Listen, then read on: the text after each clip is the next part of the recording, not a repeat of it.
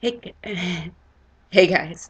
I'm uh, Tiffany Jaide Hightower. I'm the writer, director, and producer for HighSi Films. But uh, on this project, I'm just Tiffany. I'm just another MS survivor trying to get the word out and uh, hoping that at some point we can get a cure for this disease.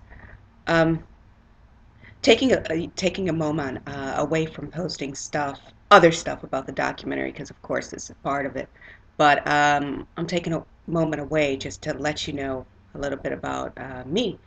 Right now, I um, I got a little cold, which for somebody who has MS, there's really no such thing as a little cold because what might be little for somebody with a healthy immune system for us means um, a heck of a lot more because um, I know with my situation, uh, no matter what, no matter how sick I get, I can't take antibiotics with the um, with the medicine for MS that I'm on.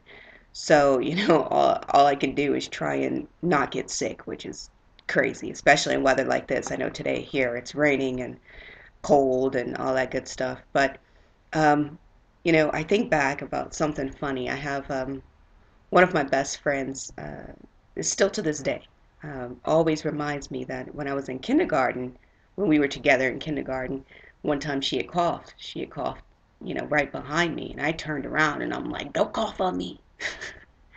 she always reminds me of that, but now I think about it, and it's so serious. Now, now, um, at, you know, at this point in time, it's like, you know, when people cough, I'm already kind of trying to run for the hills because I know that probably within about um, an hour, I'll have whatever cold they have or whatever flu they have or whatever it is. And um, and the interesting part about it is that um, when I think about that time, and it wasn't it wasn't her because I, I love her so much, but it wasn't her who made me um, you know sick with this at all. You know, I mean, it was just funny how she reminds me.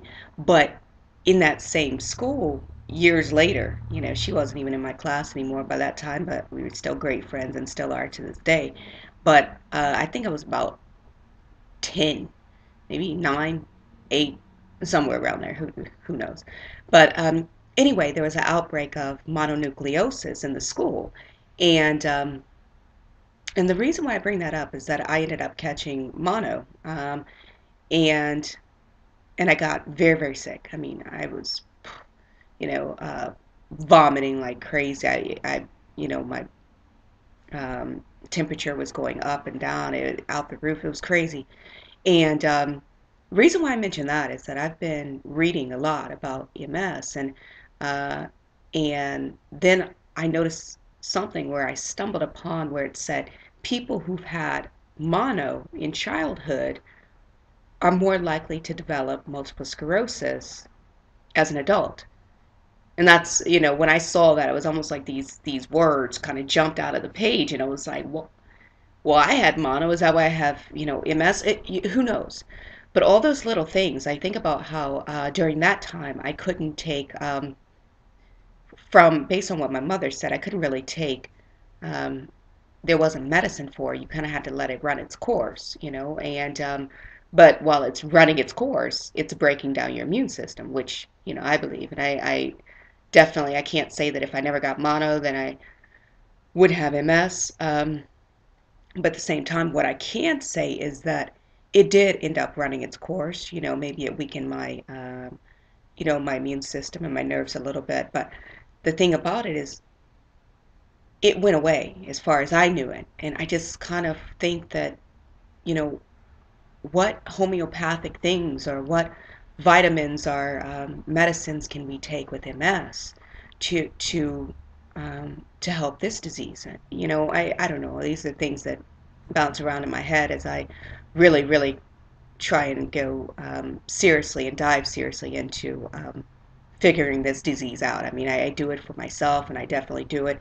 Uh, I use myself as a vessel to let you all know uh, what I go through. If you if any of those things are the same for you, then maybe it's good. We can, you know, put those ideas together. And at some point, there has to be a cure for this. It just has to be.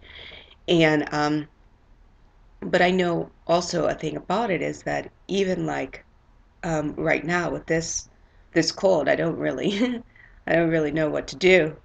Um, you know, all I can do is just hope that it's gone by today. I really don't have a lot of time to wait on um, any type of sicknesses because if I don't get it um, early, then it can possibly go to something more serious like bronchitis or pneumonia. Um, and both of those things are very, very dangerous for somebody with a weakened immune system. Um, it doesn't matter if it's um, MS or cancer or any of those um, very serious diseases. And, um, you know, I, don't- I don't know. Um, you know, I just try and keep on going with that. Another reason why I focus so much on the projects I'm working on right now. I mean, um, this it's clear that I'm doing this documentary, but it's um, I'm also um, trying to get my feature film Complacent um, finished this year as well.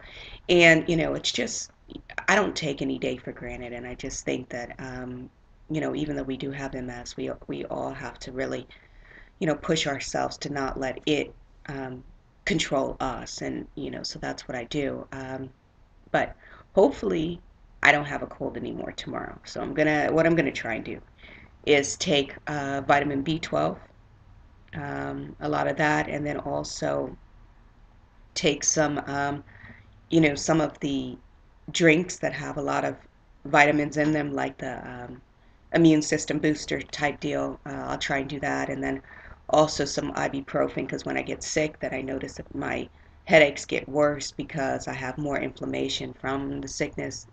You know, um, I hope this makes sense. I mean, I, I make it up day by day because it's just what I, I assume, what I what I feel like goes on uh, with my body, but uh, which I think for us with MS, that's the most important thing for us to uh, notice the things that happen with our own body. Um, we know what works and what we what doesn't. So um, right now I have pounding migraine like crazy, and then I'm all congested in here, and uh, you know get a little bit swollen around this area. Um, but it is what it is. Uh, I'm gonna I'm gonna let you all go, and I will try and post more. try and post more um, from the other parts of the documentary, and uh, yeah, and I'll I'll see you all later. All right, have a good day. Stay positive, and um, keep on trying to get the word out. All right.